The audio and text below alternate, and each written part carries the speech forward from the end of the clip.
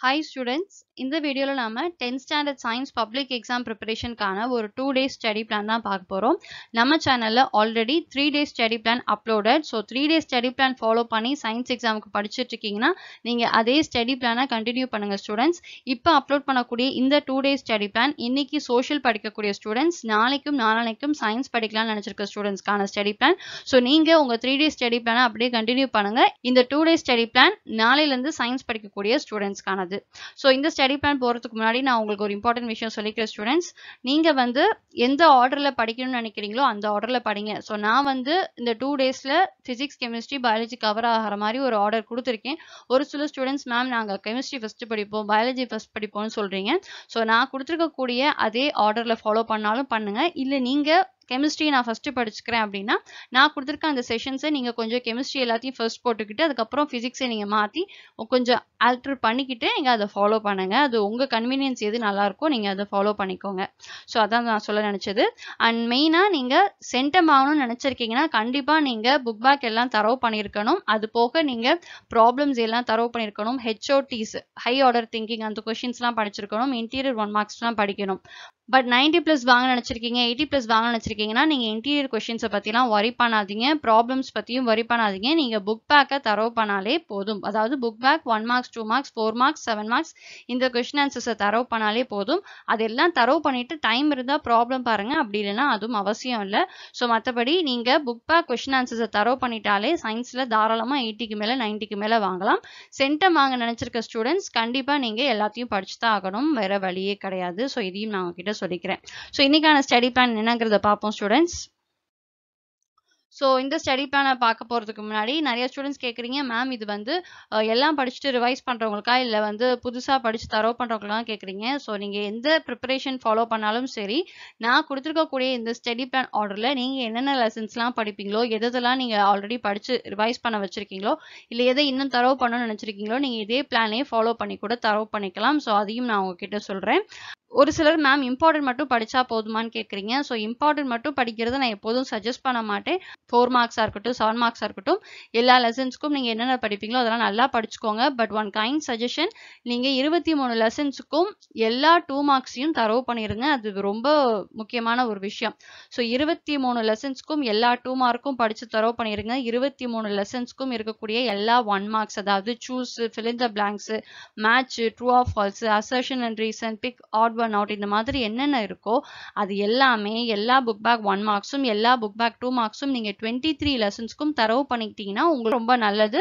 So இது ரெண்டுத்தையும் நீங்கள் தரவு பண்ணிக்கோங்க. And four marks and seven marks வந்து இத்தனை நாளாக நான் இம்பார்ட்டன்ட் தான் படிக்கிறேன்னா நீங்கள் எல்லா லெசன்ஸ்லையும் எந்தெந்த லெசன்ஸ்க்கும் இம்பார்ட்டன்ஸ் படிப்பீங்களோ அந்த லெசன்ஸ்க்கு நீங்கள் என்ன படிப்பீங்களோ அந்த கொஷின்ஸை படிங்க. இதையும் நான் உங்ககிட்ட சொல்லிக்கிறேன். ஸோ வாங்க ஸ்டூடெண்ட்ஸ் நம்ம இன்னைக்கான ஸ்டடி பிளான் பார்க்கலாம். ஸோ நாளைக்கு நீங்கள் படிக்க ஸ்டார்ட் பண்ணுறீங்க அதாவது ஏப்ரல் ஃபிஃப்டீன் சாட்டர்டே நீங்கள் morning six to one session one நீங்கள் படிக்க வேண்டியது physics lesson one two three six அதில் இருக்கக்கூடிய all one marks all one மார்க்ஸ்னால் நான் சொன்ன மாதிரி சூஸ் த பெஸ்ட் மட்டும் கிடையாது.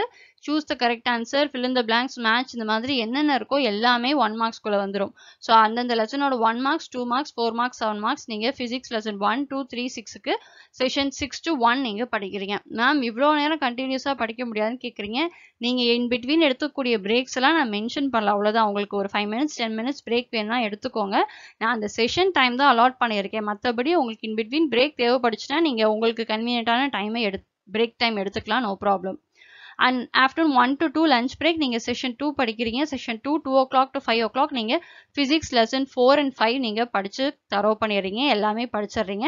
அண்ட் அது முடிச்சுட்டு ஃபிசிக்ஸ் ப்ராப்ளம்ஸ் பார்க்குற ஸ்டூடெண்ட்ஸ் ப்ராப்ளம் பாருங்கள் ஸோ ப்ராப்ளம்ஸ் ஆல்ரெடி பார்த்துருக்கேன்னா நீங்கள் அதை ரிவைஸ் பண்ணுங்கள் இல்லை மேம் நான் இன்னும் கொஸ்டின் ஆன்சர்ஸ் தரோ பண்ணணும்னா என்னுடைய சஜஷன் நீங்கள் கொஸ்டின் ஆன்சர்ஸ் எல்லாம் தரோ பண்ணிவிட்டு டைம் இருந்தால் ஃபிசிக்ஸ் ப்ராப்ளம்ஸ் பாருங்கள் கெமிஸ்ட்ரி ப்ராப்ளம்ஸும் பாருங்கள் அதான் நான் சொல்லக்கூடிய விஷயம்.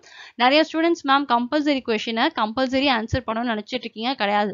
கம்பல்சரி கொஷனுக்கு என்ன அர்த்தம்னா அதுக்கு சாய்ஸ் கிடையாதுன்னு அர்த்தம். உங்களுக்கு பத்து கொஷின் கொடுத்து அதை எழுத எழுத சொல்லுவாங்க. அதில் ஒன்று கம்பல்சரி அப்போனா இப்போ அந்த பத்து கொஷினில் உங்களுக்கு இந்த கம்பல்சரி தெரியல. அது போக ஒன்பது கொஷின் இருக்குது ஒன்பது கொஷின் உங்களுக்கு தெரிஞ்சாலும் அதிகபட்சமாக உங்களால் ஆறு தான் அட்டன் பண்ண முடியும். ஆறு தான் அட்டன் பண்ணணும்.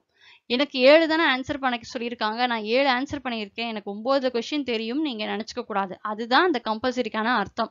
ஸோ அதனால கம்பல்சரினா கம்பல்சரி அட்டன் பண்ணணும்னு கிடையாது. அதுக்கு சாய்ஸ் கிடையாது. அவ்வளவுதான். தெரிஞ்சா எழுதுங்க. தெரியலனா விட்டுருங்க. அந்த கம்பல்சரி கொஸ்டினுக்கான மார்க்ஸ் போயிடும் மற்றபடி பாக்கி இருக்கிற ஒன்பது கொஸ்டின்ல நீங்க பாக்கி இருக்கிற ஒன்பது கொஷின்ல அதிகபட்சமா நீங்க ஆறு கொஷினுக்கு ஆன்சர் பண்ணணும். அது டூ மார்க்ஸ்க்கும் சரி ஃபோர் மார்க்ஸ்க்கும் சரி. நீங்க எழுதக்கூடிய அந்த ஆன்சர்ஸ்க்குலாம் கண்டிப்பா உங்களுக்கான மார்க்ஸ் கிடைக்கும். ஸோ இந்த ஒரு விஷயத்தையும் நான் கிளாரிஃபை பண்ணிக்கிறேன்.